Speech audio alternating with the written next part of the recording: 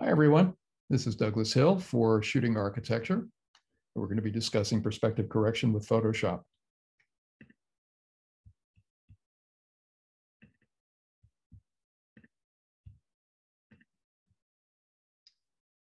One of the most basic concerns in photographing architecture is keeping all vertical lines parallel with each other and with the edges of the frame.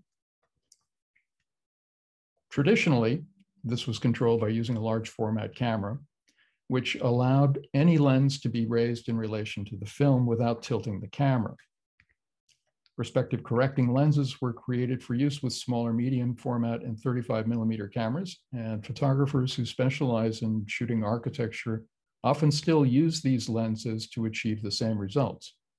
But these lenses are totally manual, having no automatic exposure or focus controls, and they are expensive.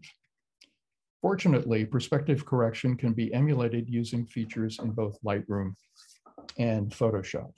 And today we're going to be dealing with Photoshop. So let's open up the application. Whoops, that's not the way to do it. Here we are.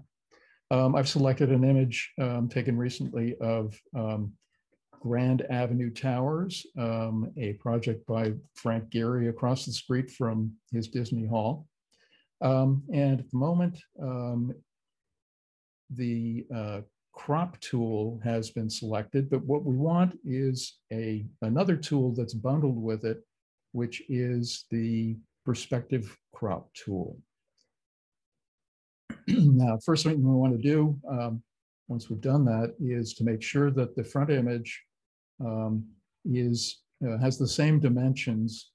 Um, or I should say that that when we've made our corrections, we want to make sure that the um, uh, same dimensions apply to um, our uh, our new image file we're going to be creating.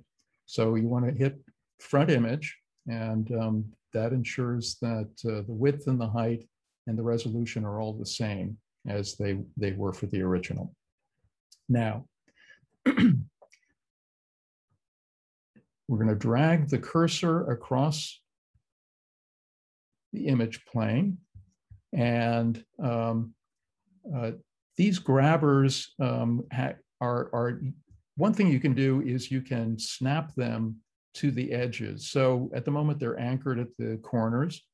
And we're going to drag um, the image in, but I mean, the, uh, the, the, these grabbers in using the guides um, to give us an idea of um, how, excuse me, how things are lining up to the um, uh, to the image plane.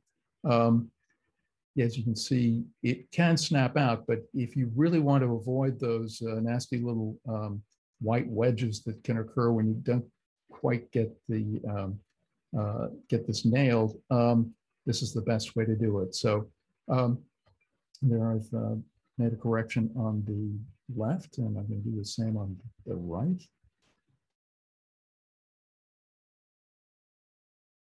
And it's okay if you don't absolutely get it um, perfect the first time, because you can go back and uh, uh, make further corrections. So that looks pretty good. Now we're going to hit return.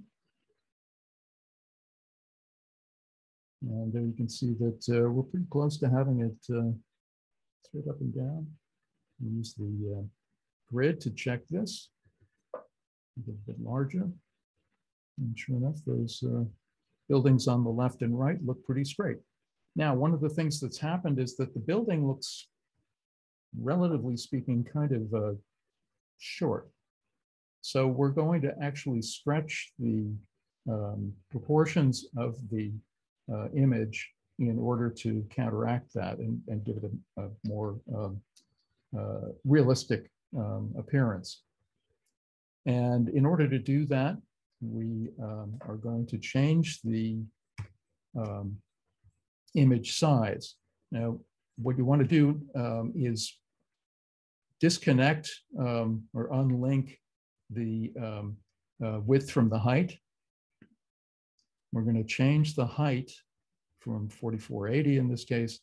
Um, it, it's that that happens to be the native um, size of the um, image file. And we're going to make that, let's say about 5,500. So substantial, but um, I think you'll see that uh, it's well worth it given what will happen to the building. So we click OK.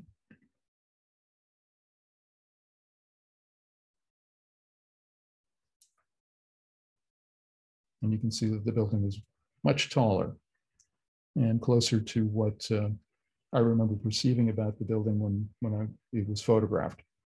Now, um, this ha now has different um, uh, uh,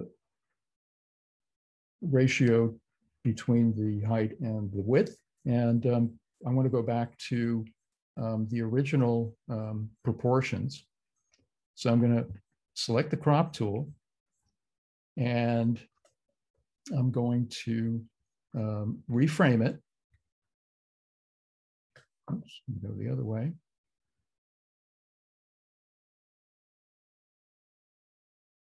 And this is a progress shot, so I'm not as concerned about uh, something like the chain link fence in the foreground. This is really um, just about getting the perspective right on the building. And as you can see with this grid even, um, the, uh, the building is, is nice and straight um, and um, has a, a, good solid feel to it. Anyway, um, so I've got my framing, I think, where I want it. Go a little bit further with that. and hit return. And that's our new framing. And that is how one uh, corrects perspective with Photoshop. This can also be done in Lightroom. It's done more automatically.